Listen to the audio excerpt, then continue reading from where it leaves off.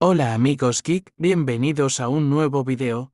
Con este mini amplificador de sonido que cabe en la palma de la mano, podemos reemplazar el cabezote dañado de nuestro equipo de sonido y reutilizar los parlantes. Yo compré este modelo el T50L en la página de AliExpress por alrededor de 7 dólares, unos 27 mil pesos colombianos al cambio actual. El mini amplificador viene desarmado, solo debemos atornillar las cubiertas y colocar las perillas. Es un diseño práctico y sencillo que disminuye su costo. Este es un amplificador digital de bajo consumo de energía. Tiene una potencia de 50 watts por canal y ajuste para brillo y bajo, y una perilla de volumen que también funciona como interruptor de encendido. Cuenta con Bluetooth 5.1, entrada auxiliar de audio, y puerto USB para reproducir discos MP3. En la parte anterior tiene la entrada de corriente, salida para dos parlantes, salida de audífonos, puerto USB de lectura y entrada auxiliar. Este amplificador soporta parlantes con potencia nominal de 10 a 40 watts, impedancia de 4 a 8 ohmios. En mi caso tengo estos dos parlantes de un viejo equipo de sonido marca Panasonic.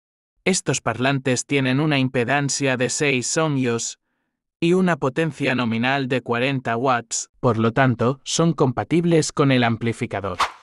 El amplificador funciona con corriente continua de 12 a 24 voltios, entonces para usarlo en la casa, necesitamos un adaptador de corriente alterna a continuo, como este, que es de 12 voltios y 3 amperios, que son el voltaje y la corriente mínima recomendada. De un lado tiene el enchufe a pared y del otro la punta universal de 5.5 por 2,5 milímetros que va al amplificador. También podemos usar adaptadores de mayor voltaje, como este de 19 voltios, pero se recomienda solo cuando vamos a instalar parlantes de 8 ohmios o más. Conectamos los cables de los parlantes al amplificador, rojo a la terminal positiva y negro a la negativa.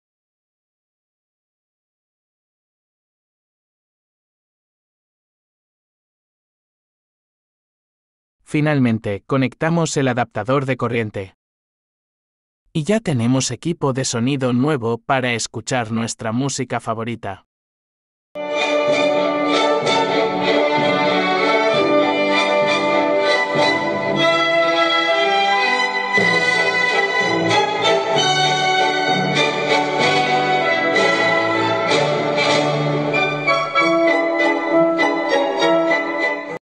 Entonces amigos, ya saben qué hacer con los parlantes de equipos que tenemos guardados en nuestra casa.